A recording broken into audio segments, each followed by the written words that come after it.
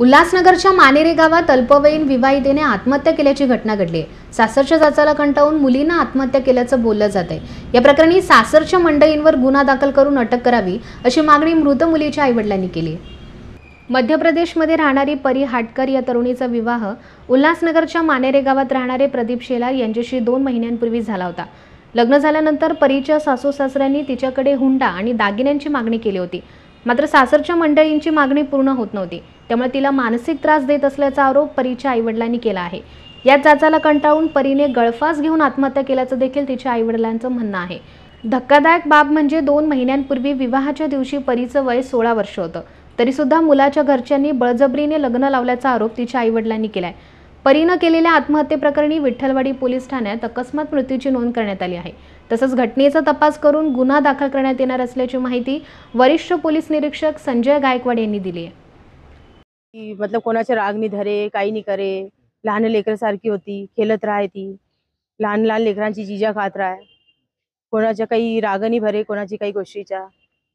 बस यही आता पोलीसवाले का न्याय का तिला न्याय दिलावा? आता एवढी मोठी मुलगी चाली गेली आमची कोणी दिलावू तर शकतो नाही. पुराण पुराना गोष्ट के लिए लाइनवर घेऊन सनी मला. तो बोले तू कोण आहे? बोले घर पे आने आके बोले तरी बहन को ले जाने वाला बोले. सगळ्या भावाला. त्याच्यानंतर तरी पण मी ना भाऊला बोलला की बेटा तू जा असे मला तीन तारीखला जाणं आहे. बहिणीला घेऊन येशील तीन तारीखला परत मी जाईन. काय गोष्ट आहे काय नाही ते पाहून घेईन. आधी आला राखीचा एक दोन दिवस पहिले. बोले बहीण चालतीये का? तो बोले पोरगी झाली तयार. तो सासू म्हणती म्हणे की तू अगं घरातून पाय काढशील म्हणे तर जिंदगीमध्ये घरामध्ये येजू नको. ते ऐकून सनी मग मी मी ना फोन लावला बहीण पाठवून दे जे बी झालं मी येतोय मग आपण पाहू बसून सनी गोष्ट करू काय आहे काय नाही जिंदगी पण निभाळणं आपल्याला सगळी बहीण आहे माझीवाली नाही बोले. बोले का आम्हाला असे जर समजले का बोले? आमचे बी काय नियम काय द्या बोले? आणि त्यांच्या पाशी नियम काय ते जास्ती आहे. किंवा तिघी सुना त्यांच्या पाशी नाही आहे सगळे वेगळे वेगळे आहे. तुम्ही मुलगी काय बघून दिली होती तुमच्याकडे?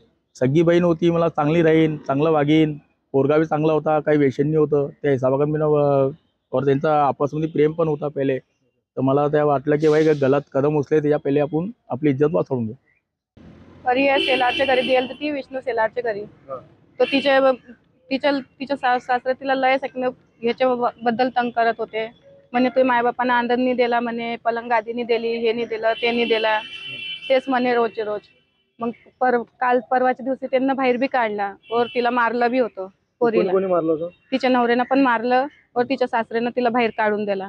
और सासरा बदतमीजी करे तिच्या संगी. हमेशा तर तिनं मला सांगितलं तर मी येणार होती तीन तारीखला. म्हटलं बेटा मी तीन तारीखला येईन और तिला घेऊन जाईल रक्षाबंधनला भाऊ घ्यायला गेला.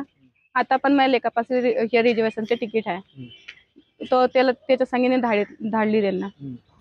पोरीला धाडलीच नाही. तिला काय टॉर्चर काय केलं जात तिला हेच टॉर्चर करे तुझ्या बापीन तर तुझ्या बापाला म्हण फोन लावून सनी की आम्हाला हे दे आम्हाला ते दे बस हेच टॉर्चर करे.